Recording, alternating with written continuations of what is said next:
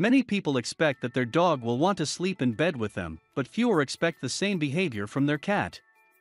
It's common to view cats as more independent than dogs, and they can sometimes act downright aloof toward their owners.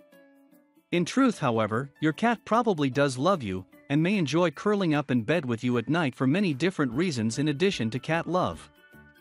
Number 1 Your bed is comfortable.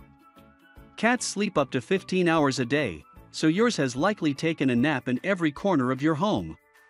All that sleep practice has taught her which parts of your home are the most comfortable, and your bed is bound to appear at the top of the list. All the soft sheets and extra blankets you put on your bed to make it cozy for you make it just as cozy for your pets. Who wouldn't want to sleep there? Number 2. You emit heat. You've probably noticed that your cat loves to curl up in warm places, like on top of fresh out of the dryer laundry or in stray sunbeams when the windows are open. He does this for good reason.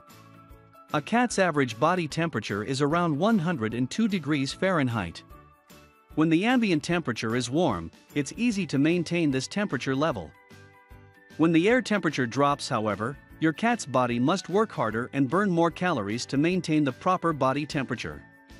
Sleeping with you is an excellent way for your cat to rest his body. By absorbing your body heat, he can stay warm and toasty with a minimal amount of effort. Even a cat who misses bedtime in the summer can turn into one who follows you everywhere and sleeps with you when the weather turns colder. Number 3. Showing some cat love.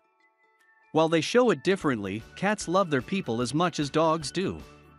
Sleeping with you may simply be one of the ways your cat shows you affection. If your cat sleeps on you all the time, she is showing you that she likes being with you and enjoys cuddles.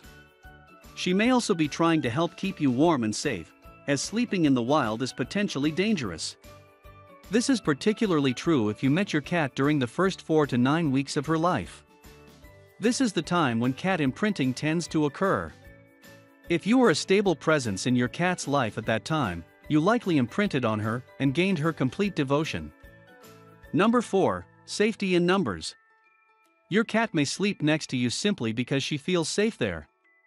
Animals are most vulnerable when they sleep. Although your cat may live the good life indoors, she hasn't forgotten her wild instincts. Those instincts tell her that lowering her guard when sleeping could get her killed. As a safety measure, she may opt to sleep with you. The two of you together can fight off more foes than either of you can alone. Plus, the odds are good that one of you will awaken at signs of danger that the other may sleep through. Number 5. Should you sleep together? In general, the decision about whether or not to share your bed with your cat is a personal one. Some people sleep more soundly with their cat curled up beside them. Others find sleeping with an animal disruptive and annoying, especially with cats, who are likely to get up during the night and go roaming. There are some instances, however, when it's best to keep your cat out of your bed. Do so if you have allergies or if your cat spends time outdoors where he could pick up parasites or bacteria. Don't forget to subscribe to the channel, if you like the video, click like.